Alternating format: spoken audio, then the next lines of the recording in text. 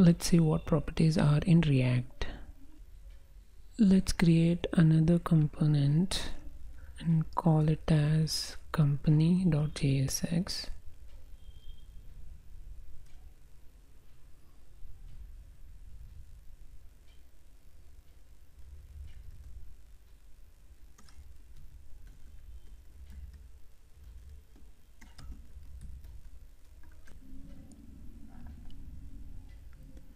so what this company component does is it simply displays us two elements h2 and h3 with following values. Let's call that component inside our app component.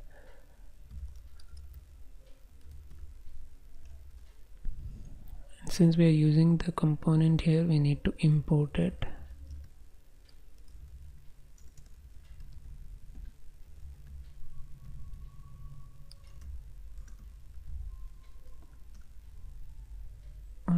save it.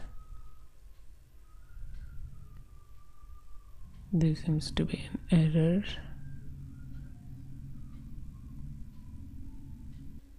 Okay I guess I missed giving the closing tags here. Save it. Bundle is created. Refresh.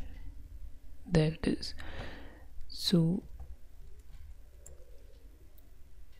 what we are doing is we are first off calling this app. This is a root component. Inside our app we are calling another component called company. And in company we are returning these two elements. So this is the beauty of react. You can create any custom element that we want by extending react component. Now let's say we want to give the company name and description right here along with the element as attributes. These are this is a custom element or component and these would be our custom attributes. So these are called as properties in react world now how do we access this inside com company is something like this.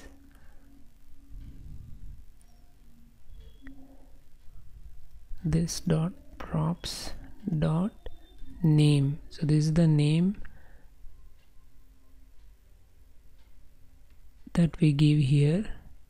And we have this as description so here we want to display this dot props dot disk. If you save it and refresh you should still be able to get the respective values. If you change the value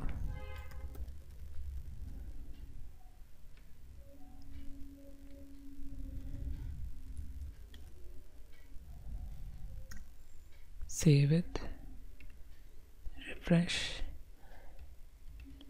So these are called as properties or props in react. That's it for this one.